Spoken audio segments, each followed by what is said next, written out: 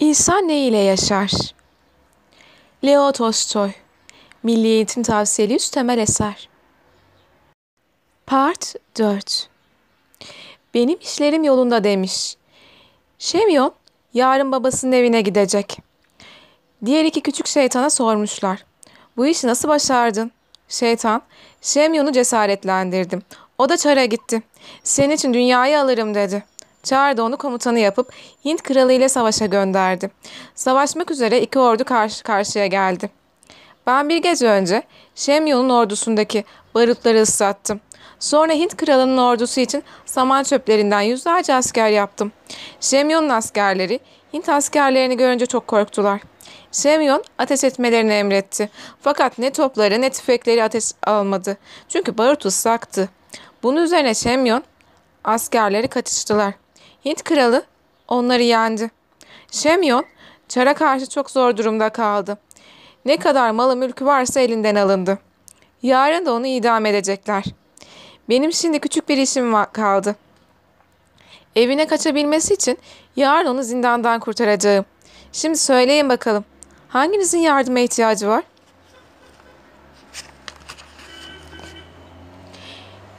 Taras'ın peşinde düşen küçük şeytan anlattı. Benim de işlerim yolunda. Taras'ın işi birkaç haftaya kadar bitecek. İlk iş olarak onu daha hırslı, daha aç gözlü yaptım.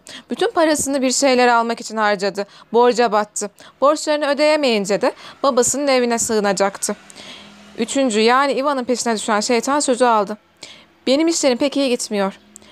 Karnı ağrısın diye Ivan'ın yemeğine ilaç koydum. Sonra tarlasına gidip sürmesin diye toprağı sertleştirdim. Bir de baktım ki pulluğu sırtlandı başladı tarlayı sürmeye.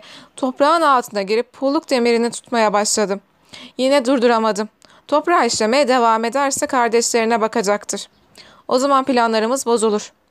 Asker Şemyon'un peşine düşen şeytancık ertesi gün kardeşinin yardımına gelmeye söz vermiş. Böylece üç küçük şeytan birbirlerinden ayrılmışlar. Ivan tarlaya gitmiş. Sürülecek küçük bir yer kalmış ama karnının ağrısından duramıyormuş. Buna rağmen sürmeye başlamış. Pulluk daha ilk dönüşünde toprağın altında bir şeye takılmış gibi kalmış. Geriye doğru itilmiş. Ivan, tarlada kök yoktu bu pulluk neye takıldı böyle? Ivan elini toprağa daldırınca yumuşak bir şeye rastlamış.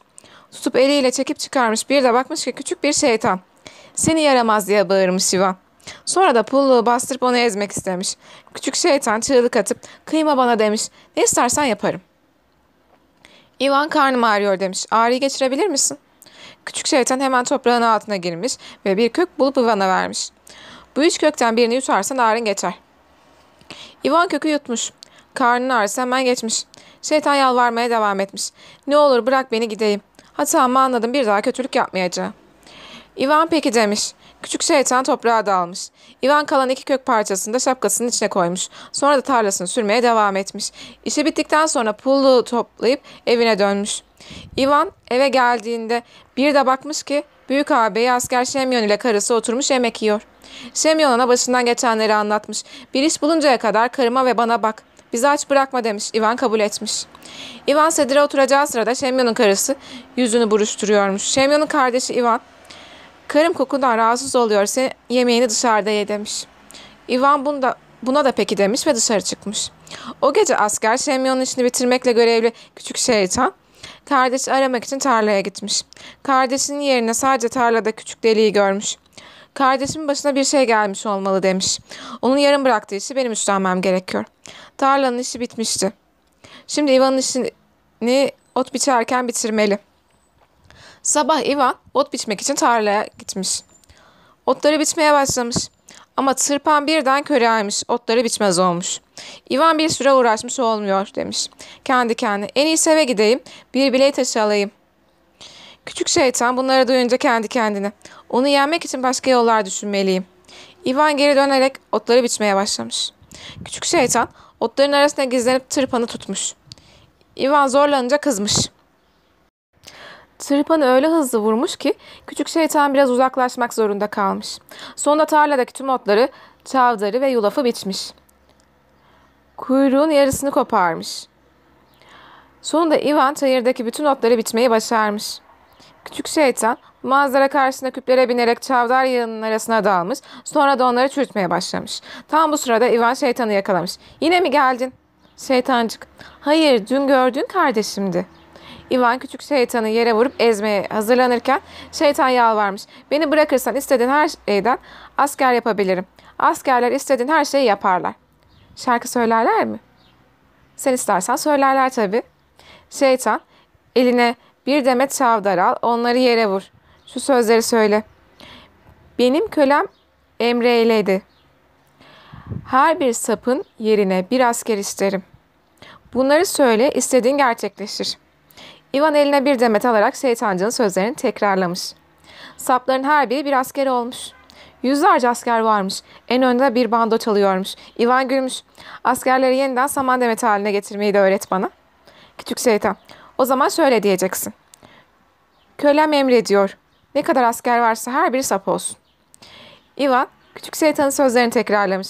Askerlerin hepsi yine sap olmuş. Şeytancık yalvarmaya başlamış. Hadi şimdi bırak beni de gideyim. İvan peki öyleyse demiş. İvan sözünü söyler söylemez şeytan toprağın içine dalıvermiş. Toprağın üstünde bir delik kalmış. İvan eve dönünce öbür kardeşi Taras ve karısı da yemek yerken bulmuş. Taras borçları ödeyemeyince kaçıp babasının evine gelmiş İvan'a. Bir iş bulana kadar karımla bana bakmanı istiyorum demiş. İvan peki bakarım diyerek yemek masasına oturmuş fakat Taras Taras'ın karısı taş, kaşlarını çatıp bu adamla aynı sofrada yemek yiyemem demiş. Taras Ivan'a dönmüş. İvan pis kokuyorsun demiş. Git yemeğini dışarıda ye. İvan peki demiş ve ekmeğini alarak dışarı çıkmış. Taras'la uğraşan küçük ve o gece kardeşlerinin yanında koşmuş. Tarlada onları aramış ama bulamamış. Sadece yerde bir delik bulmuş. Oradan çayıra gitmiş. Bataklıkta kesik bir kuyruk bulmuş. Kuyruğun yanında da yerde bir delik varmış. Kardeşlerimin başına bir bela gelmiş olmalı diye düşünmüş. On Onların yerine şu Ivan'la ben uğraşayım diyerek Ivan'ı aramaya başlamış. Ivan harman işlerini bitirmiş. Şimdi de kurda odun çekiyormuş. Bir ara oturmaya başlayınca ev üç kardeşe dar gelmeye başlamış. Ivan ormandan odun getirip kendilerine ev yapmalarını emretmiş. Küçük şeytan bunu duyunca doğruca ormana gitmiş. Dağların arasına sokulup Ivan'ın odun kesmesine engel olmaya başlamış. Ivan birkaç vuruştan sonra bu şeytanı da yakalamış. Yine mi sen diye gülmüş. Şeytan ben başkasıyım diğerleri benim kardeşimdi. Eğer beni bırakırsan sana altın para yapmayı öğretirim demiş. İvan peki öğret bakalım. Küçük şeytan anlatmış. Şu meşe ağacının yapraklarını birbirine sürtersen yere altın döküldüğünü göreceksin. Ivan şeytanın söylediğini yapmış. Gerçekten de yere altınlar dökülmüş. Ivan boş zamanlarımda çocuklarla oynarım iyi bir şey demiş. Küçük şeytan hadi bırak beni de gideyim demiş. Peki demiş Ivan. Hadi git Allah yardımcın olsun. Ivan Allah sözünü söyler söylemez şeytan toprağa dalmış. Ardından da büyük bir çukur bırakmış. Kardeşlerin her biri kendilerine birer ev yapmış ve ayrı yaşamaya başlamışlar. Ivan ürün topladıktan sonra kardeşlerini eve çağırıp onlara bir ziyafet çekmek istemiş. Ama kardeşleri gelmemiş. Bizim köylü ziyafetine ihtiyacımız yok demişler. Bunun üzerine Ivan da köylüleri davet ederek onlara güzel bir ziyafet vermiş. Sonra da sokağa çıkmış. Ivan kızlardan birinin onun şerefine şarkı söylemesini istemiş. Kızlar gülüşüp onunla hemen şarkılar söylemeye başlamışlar. Şarkı bittikten sonra haydi bakalım ver armağanımızı demişler. Ivan torbasındaki altınları kızlara doğru saçmaya başlamış. Orada bulunan herkes Ivan'ın altınlarını alabilmek için kendilerini yere atmışlar. Torbada ne kadar altın varsa hepsi saçılmış. Başka zaman yine veririm. Şimdi dans edelim. Kızlar siz de şarkı söyleyin. Ivan bunları söyledikten sonra ambara gidip bir demet çavdar sapı çekmiş. Sonra yere atmış ve tılsımsız sözcükleri söylemiş. Sapların her biri bir askere dönüşmüş. Ivan onlara trampeti çalmalarını söylemiş ve onlarla birlikte meydana gelmiş. Onları gören köylülerin şaşkınlıktan ağzı açık kalmış. Askerler uzun süre çalıp söylemişler. Herkes çok eğlenmiş. Eğlence bitince Ivan askerleriyle saman çöpüne çevirerek ambara koymuş. Semyon ertesi sabah bütün olup bitenleri öğrenmiş ve doğruca kardeşine koşmuş. Askerleri nereden getirdin, nereye götürdün diye sormuş. Bu sırrı bana da söyle. Ivan bilip de ne yapacaksın? Semyon bu kadar askerin olduktan sonra istediğin her şeyi yapabilirsin. Kendim için bir çarlık bile kurabilirim. Ivan şaşırmış. Sahi mi demiş. Bunu neden daha önce söylemedin? Sana istediğin kadar asker yapabilirim. Ivan ağabeyini alıp ambara gitmiş. Ama bir şartım var demiş. Ben sana asker yaparım. Ama sen de onları buradan alıp gideceksin. Onları beslemeye kalkışırsak bütün köyün buğdayını bir günde yiyip bitirirler. Şemyon askerlerini alıp gideceğine söz vermiş. Bunun üzerine Ivan da onlara ona büyük bir asker ordusu yapmış. Asker Şemyon hemen hazırlıklara başlamış. Ordusunu hazırlayıp düzenleyerek savaşa gitmiş. Semyon gider gitmez Taras koşarak gelmiş. Çünkü dün olanları o da duymuş. Kardeşine yalvarmış. Ne olur bana üç torba altın ver. Ivan atı ve arabayı alıp ormana gidelim demiş. Arabaya atlayıp ormana gitmişler. Ivan Taras için bir araba dolusu altın yapmış. Taras ticaret yapmak için doğruca şehrin yolunu tutmuş. Böylece Şemyon savaşa, Taras da ticarete başlamış. Asker Şemyon savaşarak pek çok ülkeyi ele geçirmiş. Taras da altınları kullanarak pek çok paralar kazanmış. Günün birinde Taras ve Şemyon buluşmuşlar. Başlarından geçenleri birbirlerine anlatmışlar. Şemyon, ben bir ülke ele geçirdim demiş. İyi yaşıyorum ama askerlerimi geçindiremiyorum, param yetmiyor.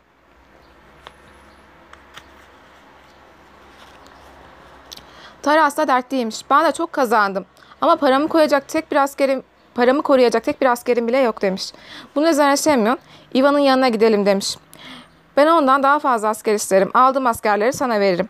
Paranı korurlar. Sen de daha fazla altın istersin. O altınları bana verirsin. Ben de böylece askerlerimi geçindiririm. İkisi de aralarında anlaşıp Ivan'ın yanına gitmişler. Semyon kardeşim demiş. Askerlerim yetmiyor. Bana birazcık daha asker yap. Ivan başını sallamış. Olmaz. Senin askerleri adam öldürüyor. Artık sana asker yapamam. Taras da biraz altın istemek için Ivan'ın yanına gelmiş. Ivan ona altın yapmaya yanaşmamış. Olmaz. Sana altın yapamam. Senin altınların Mihail'in kızının ineğini elinden almış. Mihail kızının bir ineği var. Çocuklarını bu ineğin sütüyle besliyordu. Ama geçen gün çocukları için benden süt istemeye gelmişti. İneğiniz nerede diye sordum. Taras'ın kahyası geldi. Anneme üç altın verdi. O da ineği sattı. Biz de sütsüz kaldık dedi. Ben senin o altınlarla oyun oynayacağını zannediyordum. Oysa sen çocuklara süt veren inekleri alıyorsun. Bir daha sana altın verme. Böylece Şemyon ve Taras elleri boş dönmüşler. Sonra da kafa kafaya verip çareler aramışlar. Şemyon, bak ne yapalım biliyor musun demiş. Askerlerimi besleyebilmem için sen bana para ver. Ben de buna karşılık askerlerimin bir bölümünü sana vereyim. Taras bu öneriyi kabul etmiş. İki kardeş askerleri ve paraları aralarında bölüşmüşler. İkisi de çok zengin çarı olmuşlar. Ivan köyünde yaşamaya devam ediyordu. Anasına babasına bakıyor. Dilsiz kız kardeşiyle birlikte tarlada çalışıyormuş. Bir gün Ivan'ın ihtiyar köpeği hastalanmış. Ivan birinci şeytanın verdiği köklerden birini köpeğe yedirmiş. Köpek birdenbire iyileşivermiş. Ivan'ın annesiyle babası bu işe şaşırıp kalmışlar. Ivan ne yaptın da köpeği iyileştirdin diye sormuşlar. Ivan anlatmaya başlamış. Ben de her hastalığı iyi eden bir kök vardı. Köpek o köklerden birini yiyince iyileşti. Şimdi o köklerden yalnızca bir tanesi elimde kaldı. Bu olay çok kısa bir süre sonra Çar'ın kızı hastalanmış. Çar bütün ülkeye haber salıp kızını iyileştiren kişiye büyük ödüller vereceğini bildirmiş. Eğer bekarsa da o kızını kızını o kişiyle eğlendirecekmiş. Bu haber Ivan'ın köyüne dek ulaşmış. Annesi ve babası Ivan'ı çağırmışlar. Çar'ın haberini duydun mu demişler. Hani sende her hastalığı iyileştiren bir kök vardı ya. Şimdi git Çar'ın kızını o kökle iyileştir. Böylece hayatın sonuna kadar rahat yaşarsın. Ivan peki demiş ve hazırlıklara başlamış. Onu giydirip kuşatmışlar. Annesi ve babasıyla vedalaşan Ivan tam kapıdan çıkacağı sırada dilenci bir kadınla karşılaşmış. Kadının kolu sakatmış. Kadın, Ivan senin hastaları iyi ettiğini duydum demiş. Yalvarırım benim kolumu iyileştir. Ivan kadının haline acımış. Peki demiş. Kökü kadına vermiş. Kadın kökü yutar yutmaz iyileşivermiş. Artık kolunu rahatça oynatabiliyormuş. Ivan'ın annesiyle babası bu olanları görmüşler. Ivan'ın elindeki son kökü de bu dilenci kadına vermesine çok öfkelenmişler. Ivan, Çar'ın kızını da iyileştireceğim demiş ve yola çıkmış.